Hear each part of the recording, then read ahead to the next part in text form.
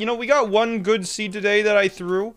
Here's the great thing about good seeds. Uh, every single time I throw a good seed, it, uh, it makes me more, uh, dead inside. And sometimes that's a good thing.